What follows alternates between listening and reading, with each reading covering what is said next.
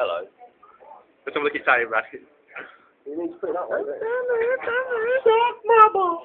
I can't say it right. I'll just keep there. look.